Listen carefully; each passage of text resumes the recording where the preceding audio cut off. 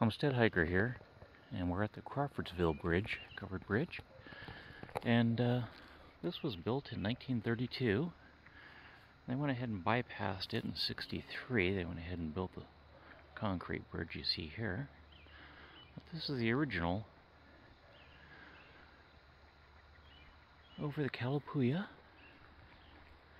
walk through here.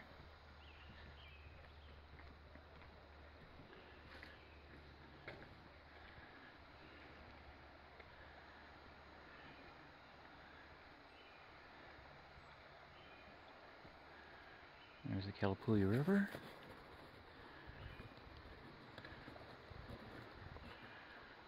And I'll go over this side.